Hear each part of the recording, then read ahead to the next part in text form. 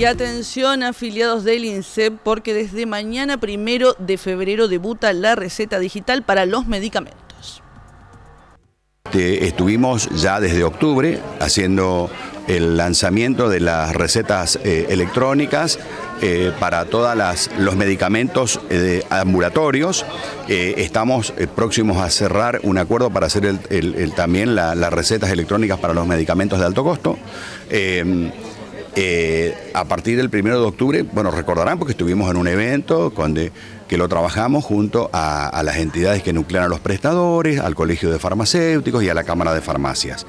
Em, esto se fue dando en forma paulatina, en algún momento tuvimos algunas situaciones, establecimos prórrogas para que sepan este, y justamente ajustar esos detalles, pero a partir de mañana no va a haber más prórrogas y vamos a trabajar con recetas electrónicas. Sí, sí, sí, sí, cualquier afiliado que vaya este, a, su, a su médico.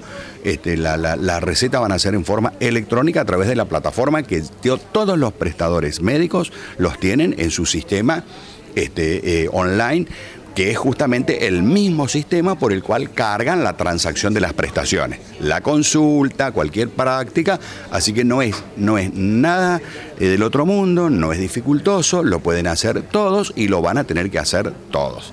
Esto quiero transmitir esto, porque muchos, muchos afiliados este, eh, a ver, se presta a una confusión porque la gente dice, no, yo no sé cómo tengo que hacer. No tiene que hacer nada. El que tiene que hacer el trabajo es el médico. ¿sí? El afiliado va, consulta a su médico, el médico lo revisa, lo atiende, eh, le interroga, hace lo que tiene que hacer, mira los estudios y, prescribe una medicación. Esa medicación la escribe eh, en la plataforma digital. De tal manera que el afiliado puede ir a su farmacia, cualquiera sea su farmacia, que esté dentro de las cámaras de farmacia o del colegio de farmacéuticos y en este caso también de las farmacias de la Asociación este, eh, Mutual de la Bancaria, que también tienen convenio con nosotros a partir de ahora y recepcionar. Cuando se presenta en la farmacia, el, farmacéutico o el asistente va con los datos del afiliado, sabe, entra al sistema y, ve los medicamentos que están cargados ahí. ¿sí? El afiliado no tiene que hacer nada. Si el afiliado quisiera tener una copia de su receta,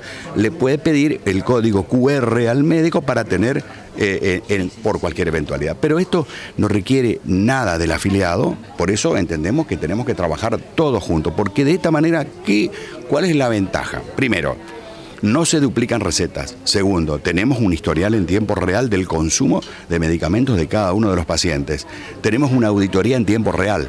¿Sí? Así que, bueno, son elementos que son importantes para la gestión y la administración de una obra social. Si nosotros tenemos la predisposición del médico prescriptor, y la predisposición de la farmacia, que es la que dispensa la medicación, no debería existir ninguna situación que complique justamente la, recepción del medicamento de los afiliados. Un código eh, específico, este, eh, único, eh, con un tiempo de vencimiento. Así que yo creo que este, estamos avanzando en la cuestión digital, muchas obras sociales ya los tienen aplicados.